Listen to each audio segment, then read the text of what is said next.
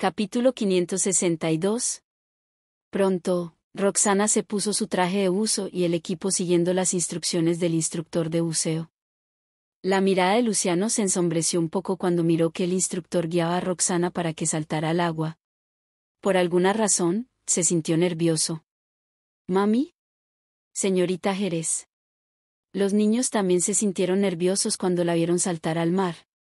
Al escuchar su voz, Roxana sonrió y levantó la cabeza. Hizo un gesto de que todo estaba bien y se giró hacia el instructor, indicándole que estaba lista. Poco después, ambos contuvieron la respiración, y se sumergieron.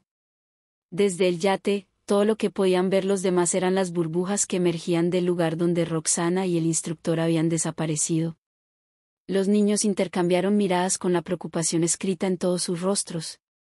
De hecho, estaban sintiéndose un poco arrepentidos de haber dejado que Roxana lo intentara. Señor Fariña, nuestra mami estará bien, Bautista no pudo evitar mirar a Luciano.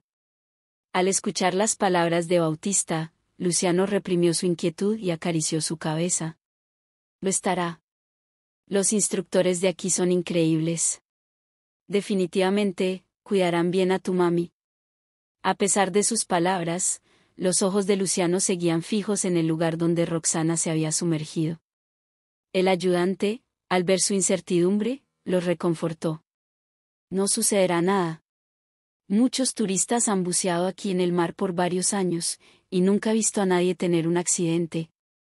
Los niños asintieron dudosos al escuchar a la tripulación. Después, continuaron esperando a que Roxana saliera a la superficie del agua. Al mismo tiempo, el instructor de buceo llevó a Roxana más al fondo del agua. Al inicio, él la tomó del brazo con fuerza todo el camino, por miedo a que algo le sucediera.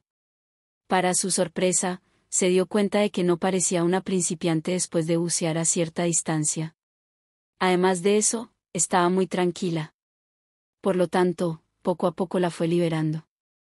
El paisaje debajo del agua fue apareciendo lentamente frente a Roxana. Cuando lo vio, sus ojos se iluminaron. Había una gran variedad de corales y peces. Las aguas atraían los rayos del sol y brillaban sobre los tesoros del océano, dándole un misterioso color. Roxana no pudo evitar extender su mano. De pronto, un pequeño pez rodeó su dedo. El instructor se sorprendió ante esa interacción, y rápidamente sacó su cámara para tomar fotos de la escena. En las fotos, Roxana se miraba como una hermosa sirena, interactuando pacíficamente con las lindas criaturas del mar. Mientras tanto, las personas en el yate comenzaron a preocuparse cuando Roxana y el instructor aún no habían regresado después de mucho tiempo. Bautista gritó ansioso hacia el mar. ¿Mami? Estela también tomó la banderilla nerviosa y miró a Luciano. ¿Papi? ¿Por qué no ha regresado la señorita Jerez? Cuando Luciano escuchó su pregunta, su mirada se ensombreció, y la tranquilizó. Regresará. No te preocupes. Luego, sacó su teléfono y lo miró. Roxana y el instructor habían estado bajo el agua por casi diez minutos. Lógicamente, no había manera de que el instructor no supiera que había pasado mucho tiempo para un principiante. Luciano frunció el ceño al pensar en ello, y la sospecha pasó por su mente. Tuvieron un accidente bajo el agua.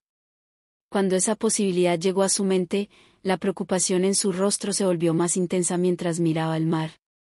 Después de una determinada cantidad de tiempo, los otros dos ayudantes comenzaron a entrar en pánico cuando vieron que Roxana y el instructor no habían regresado. Voy a bajar a echar un vistazo, uno de los instructores de buceo, preocupado, tomó su equipo. Justo cuando estaba a punto de sumergirse, hubo unos movimientos repentinos en la superficie del agua. Después de un tiempo, Roxana y el instructor aparecieron con sonrisas en sus rostros,